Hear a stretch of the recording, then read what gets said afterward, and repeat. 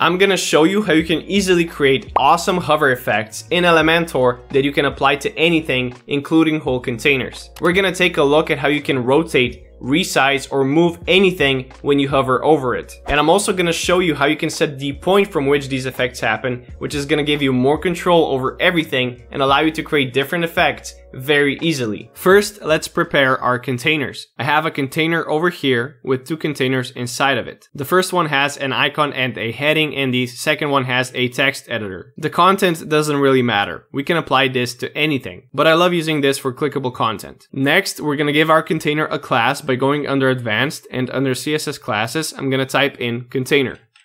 These classes can be anything, you just have to make sure they match in the CSS so you're targeting your elements correctly. Now it's time to add in our CSS. Under advanced, I'm gonna go under custom CSS and I'm gonna paste it in here. If you're not using Elementor Pro, you can go into your admin bar, go under customize, additional CSS and paste it in here. But I'll be working over here, so I'm gonna paste it in. And by the way, all of this will be available down below so you can just copy and paste it in as well. Once I do that, I have this little hover effect. My container gets rotated when I hover over it. If you want to learn how to change the colors of containers, icons, headings, text editors on hover, or if you want to learn how to reveal things when hovering over the container, links to those two videos will be in the description and I highly recommend you check them out. But for this effect, to change out how much it rotates and in which direction, just adjust the degrees over here. If I make it 5 degrees, you can see it's very different from minus 10. Just play around with it until you get the result you want. And over here, you can make the effect slower or faster. If this is helpful, please make sure you like the video and hit that subscribe button. It would help me out a whole lot. We're gonna get into how to rotate it like this in just a second, but first let's take a quick look at how to move a container on hover. We're just gonna replace our transform rotate with transform translate and I'm gonna type in two different values, which can, of course, be anything. And you can use any unit you want. I'm gonna be using pixels. The first value is gonna move the container sideways, so left or right. And the second one is gonna move it up or down. If I add in a 100 pixels and a 100 pixels, it's gonna move it 100 pixels to the right and 100 pixels down. If I make it minus 100 pixels for both of these, it's gonna move it 100 pixels to the left and 100 pixels up. So just adjust these values however you want to move your container or any other element in any direction and any distance you want. To resize the container on hover, we're going to use transform scale.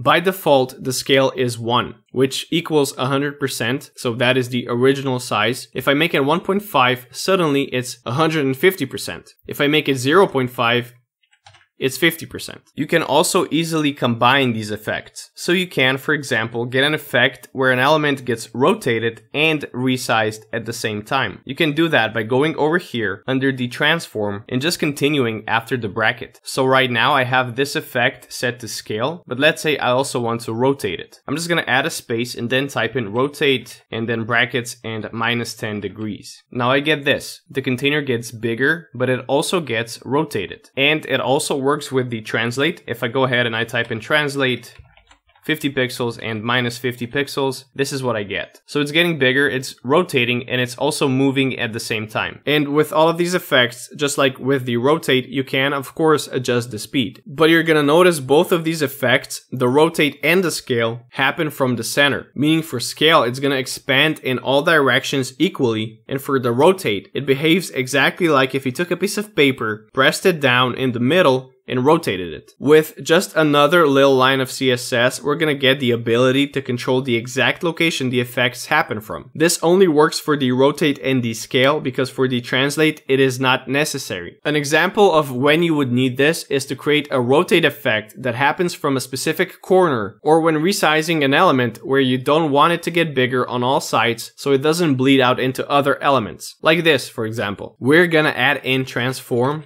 origin. Now you can make that origin, meaning the point the effect happens from, anything. The default is 50% and 50%, which is the center. So if I set it to 50% and 50%, you're gonna see nothing changes. Let's say I want it to be bottom left. I can just type in bottom left. And now all of a sudden my rotation is happening from this corner. Or I can type in top right. Just using those actual words is the easiest way to do this, but you can make it fully custom and add in any unit you want. The first value determines the horizontal position, so left to right, and the second one determines the vertical position, so top to bottom. The first value being set to 0% is fully on the left, 50% is in the middle, and 100% is fully on the right. Similarly, the second value being set to 0 means it's at the top, set to 50% it's in the center, and set to 100% it's at the bottom. So 100% and 0% would be the upper right corner. 100% and 100% would be the bottom right corner. And you can set in any value in between these 20, 35, 70, whatever you want. You can use other units, but I like to just stick with percent because it's more straightforward. You can actually go over a 100% as well, but things get a little bit weird at that point. And for scale, it's the exact same thing. To get our container to not bleed left when getting resized, for example, we can just add in transform origin top left. It still goes over the left edge a tiny bit while the animation is happening, but in the end, it's where it's supposed to be. And if you don't scale your element up drastically, that little overflow over here is going to be hardly noticeable. The transform origin also works when combining the effects. Here's how it looks with a combined scale and rotate. But the interesting thing is, if you add in translate, it also works, because the origin applies to the scale and the rotate, and the element also gets moved. So we get something like this. If we only have translate applied, the transform origin does nothing. And if you want to control which element is on top when you hover over it and it rotates or gets bigger, like this, just use a z index. A higher z index is going to be on top. So if this container has a z index of 4 and this one has a z index of 3, the 4 one is going to be on top. To make it responsive, we're just going to add in some media queries. You can either disable the hover effect entirely or edit it. Here's how we can disable it for devices under 767 pixels, so for mobile phones.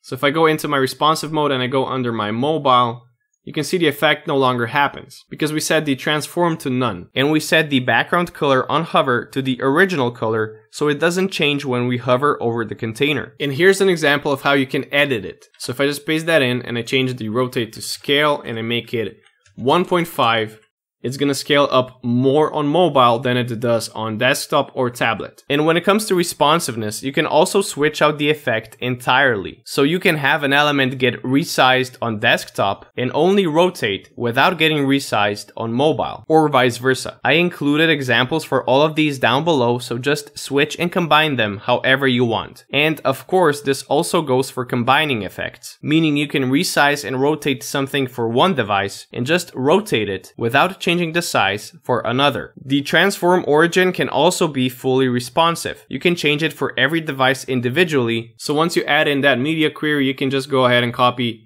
whichever class you want and change out any property you want. For example, you can change the background color, you can go ahead and change the rotation or the scale, even the speed of the transition. Very simple. To make it responsive for even more devices, you can just add in more media queries and again adjust the values. Here's an example for devices between 767 and 1024 pixels. So that is for tablets. Just go ahead and change out these values and then make sure you target the correct classes and make your adjustments. If this video was helpful, check out this video next, it's very interesting as well. And also make sure you hit those like and subscribe buttons. Thank you for watching.